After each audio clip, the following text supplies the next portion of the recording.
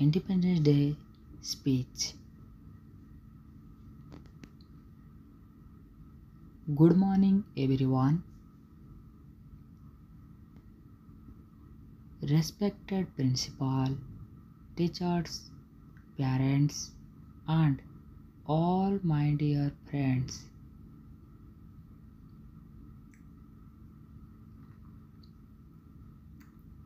My name is Ajay. Today is 15th August and I wish you all a very happy Independence Day.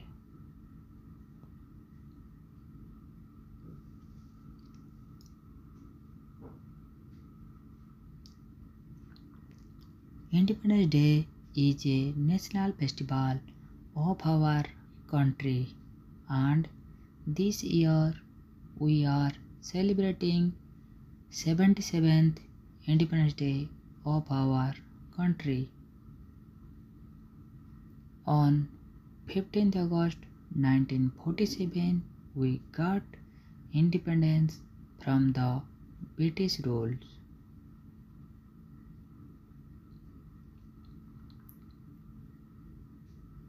So we celebrated Independence Day on 15th August every year.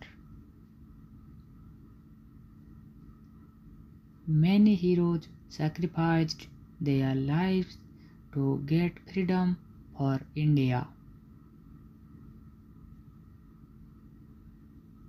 Due to the brave warriors, we are living peaceful life.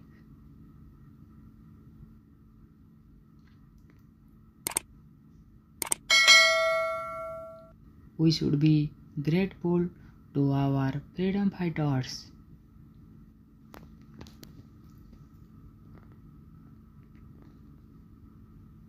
We should feel proud to be an Indian. So, on this occasion, let us all pledge to do our best and make our country the best country of the world.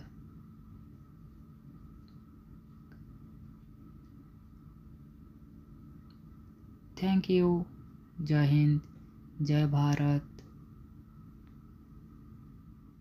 Thanks for watching.